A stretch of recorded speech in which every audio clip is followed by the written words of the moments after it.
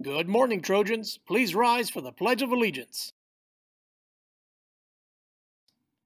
I pledge allegiance to the flag of the United States of America and to the Republic for which it stands, one nation, under God, indivisible, with liberty and justice for all. Please remain standing for a moment of silence.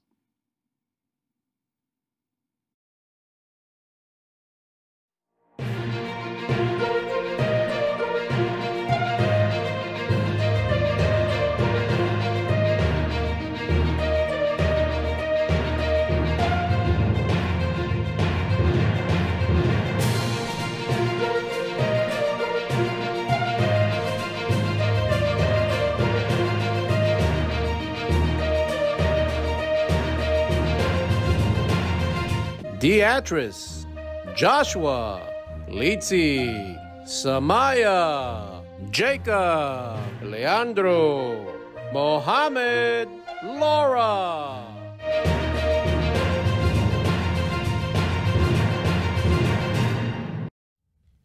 Good, morning, Trojans. I'm Joshua. And I'm Laura, and, And it's time for Trojan News. Trojans, this week is Start with Hello Week. Start with Hello Week was started to create a more inclusive community. Start with Hello Week supports the district's co- um, commitment to making students from every background feel welcome and accepted in our schools. Drama Club members and those who wish to join. Dues are payable through OSP. Please pay your $20 by the end of the day on October 15th. No extensions will be issued, and no cash payments will be accepted. So, please handle your business in a timely manner. Congratulations to your HML yearbook for winning up to 10 in cover content, content and coverage in the nation. Every year, our yearbook provides the best of what HML has to offer. Congratulations, HML yearbook staff. And speaking of the best, your 2023 HML yearbook will be on sale starting September 27th, which will be senior night for $50 only, a 34% discount.